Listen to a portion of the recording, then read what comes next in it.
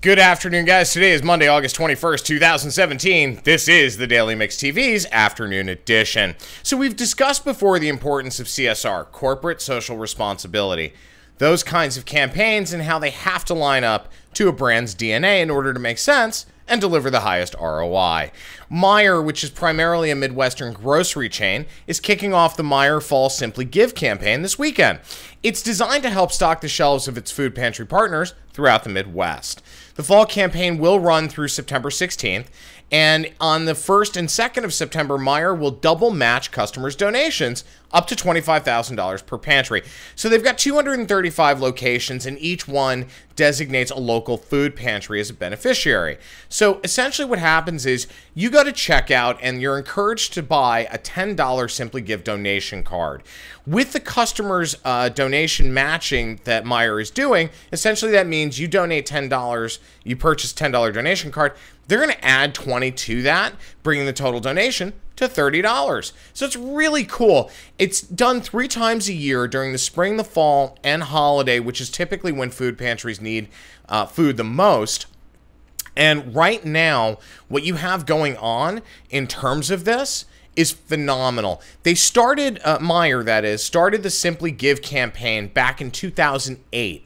So, as I said, it's three times a year. Since then, they've delivered nearly $32 million or over 350 million meals to help neighborhood food pantries keep their shelves stocked throughout the year. So here's how it works. You go in, you buy the $10 uh, Simply Give donation card. They then convert that into a Meijer food only gift card, which is then donated directly to local food pantry. You know, it's programming like this that continues to build year over year over year that can make all the difference in the world to a community, certainly to a brand.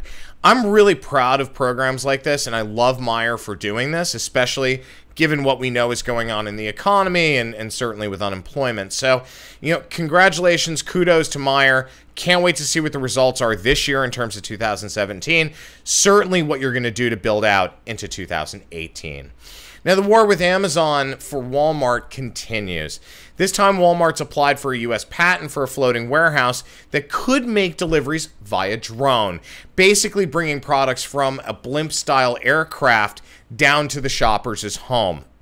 The aircraft would fly about 500 to 1,000 feet up, and it would be operated autonomously or by remote human pilot. Now, Amazon was granted a similar patent in April of 2016, so it's interesting to see the two of them in terms of parity, innovation, and development. There's a lot of advantages to an operation of this type with respect to warehousing and restocking product and so on.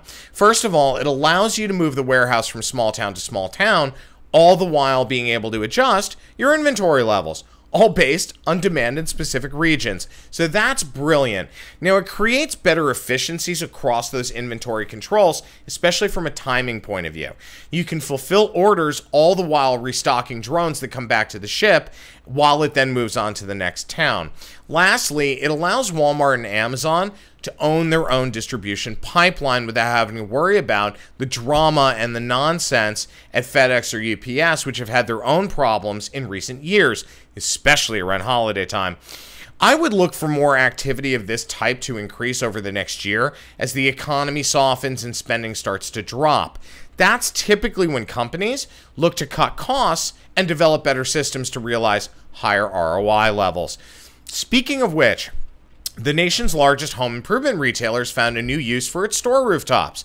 The Home Depot has just partnered with GE's current unit and Tesla on a rooftop solar project in 50 stores across five states California, Connecticut, New Jersey, New York, Maryland, uh, and the District of Columbia.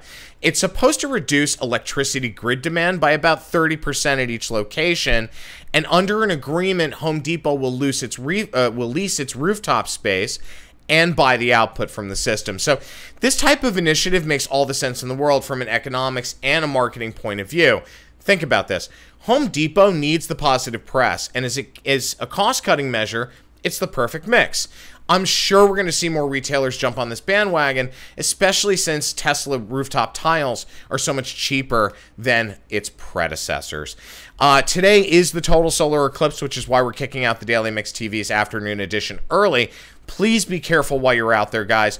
Don't look up unless you've got approved safety glasses. My name is Sean Patrick Hillman. I'm the CEO of Hill Story Marketing. I'm also the editor in chief of the Daily Mix TV. We would love to hear from you, so please email us at thedailymixtv at gmail.com. Have a great afternoon, guys. We'll see you tomorrow.